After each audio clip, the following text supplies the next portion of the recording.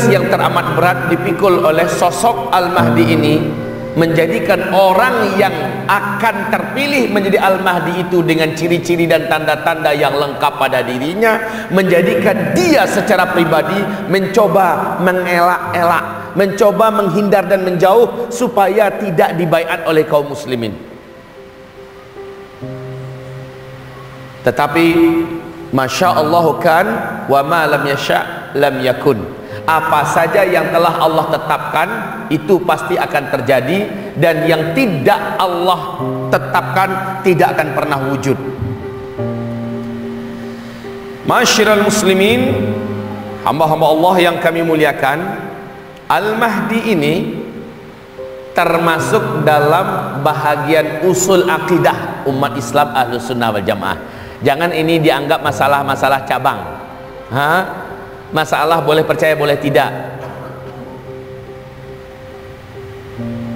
Hadis-hadis tentang Al-Mahdi sampai 160-an hadis.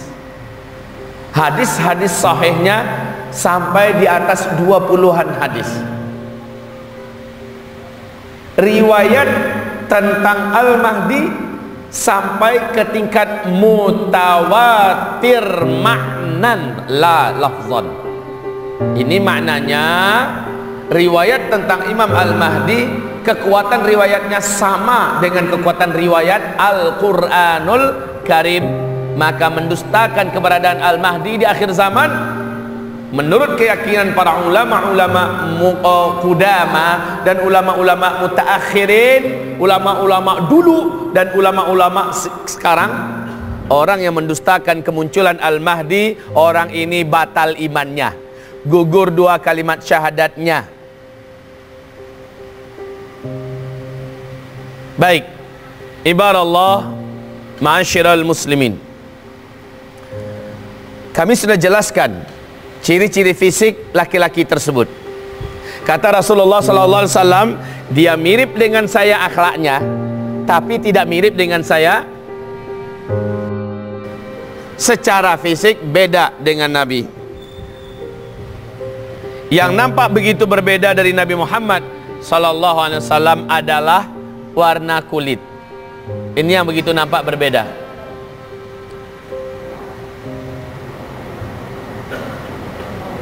Ibarat Allah Ma'asyiral muslimin yang kami muliakan.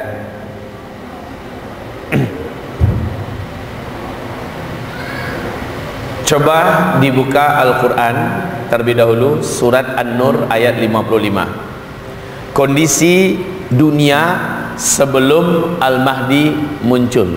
Kondisi Islam sebelum Al-Mahdi muncul Tersirat di dalam Surat An-Nur ini. Al-Mahdi kan menjadi khalifah nanti kan Nah kekhalifahan ini kaum muslimin akan merubah segala-galanya. Yang sebelum khilafah itu ada segala-galanya wujud dalam bentuk yang menakutkan dan mengerikan. Maka inilah keadaan sebelum Al-Mahdi muncul. Mari kita baca. A'udzu billahi minasyaitonir rajim Bismillahirrahmanirrahim وعد الله الذين آمنوا منكم وعملوا الصالحات ليستخلفنهم في الأرض كما استخلف الذين من قبلهم وليمكنن لهم دينهم وليبدلنهم من بعد خوفهم أمنا. يعبدونني لا يشركون بي شيئا. ومن كفر بعد ذلك فأولئك فأولئك هم الفاسقون اللهم ارحمنا بالقرآن وصدق الله العظيم وعد الله الذين آمنوا منكم وعملوا الصالحات Allah subhanahu wa ta'ala telah berjanji kepada orang-orang yang beriman di antara kamu dan yang beramal soleh bahwa mereka benar-benar akan kembali memimpin seluruh dunia.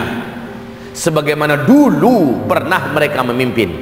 Di ayat ini tersirat umat Islam pernah mengalami kekosongan kepemimpinan memimpin dunia. Inilah dia fase keempat. Fase di mana Islam tidak memimpin dunia. Dan Allah berjanji akan kembali menyerahkan kepemimpinan dunia kepada umat Islam. Dan pemimpinnya dalam hadis adalah Al-Mahdi. Begitu terus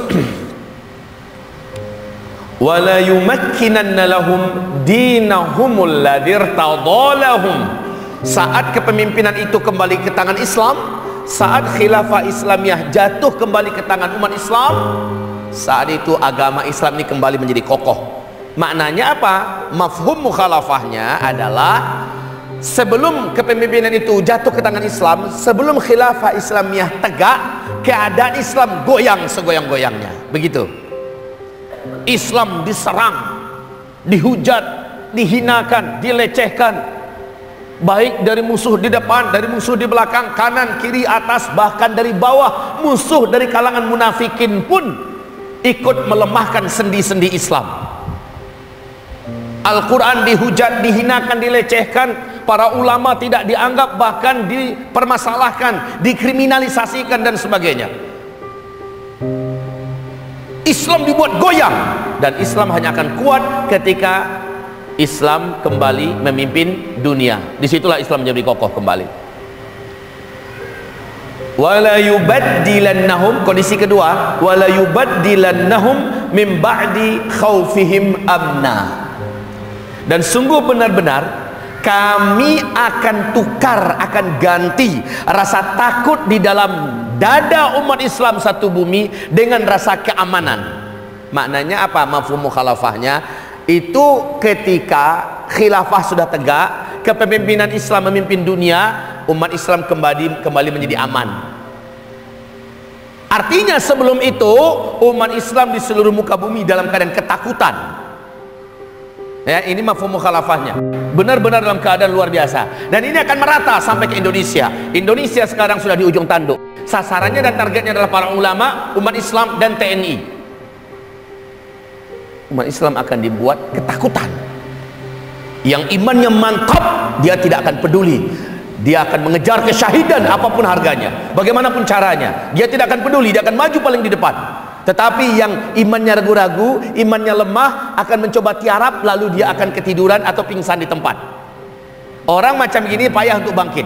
Sebagian besar umat Islam akan menjadi munafiqin haqqan. Ini kondisinya Pak. Wala yubaddilannahum min ba'di khaufihim amna. Sungguh benar-benar akan diganti oleh Allah rasa takut orang-orang yang beriman di muka bumi dengan rasa aman. Berkat tegaknya khilafah Islam. Jadi sebelum khilafah tegak sebelum kepemimpinan Islam kembali memimpin dunia jangan pernah berharap umat ini akan aman. Nggak ada. Umat ini akan terus dibelasah. Umat ini akan terus digonyoh-gonyoh nggak tahu itu apa gonyoh-gonyoh bahasa Indonesia nah la wala quwata illa ini kondisinya. Lah Allah yang berfirman begitu. Terus kondisi Islam yang ketiga sebelum Al-Mahdi muncul sebelum khilafah tegak ya'budunani la yusyrikuna bi syai'a saat khilafah tegak seluruh umat Islam betul-betul total bebas mengibadahi Allah sepenuhnya dan mereka tidak akan mensyirikkan Allah lagi. Lah kondisi sekarang sebelum khilafah tegak umat Islam mau nggak mau siap nggak siap rela nggak rela digiring untuk mensyirikkan Allah ya kesyirikan hari ini merata di mana-mana wahai hamba-hamba Allah. Kesyirikan hari ini dipublikasikan di media-media masa yang ada. Kesyirikan hari ini dipimpin dan bahkan didanai. Kesyirikan hari ini. Secara hukum juga Allah disekutukan. Allah tidak dipakai hukumnya. Hukum selain hukum Allah yang dipakai. Inilah dia kesyirikan yang wujud pada hari ini di seluruh dunia kaum muslimin. Sehingga ada yang berani berkata siapa yang mencoba menerapkan hukum Allah di bumi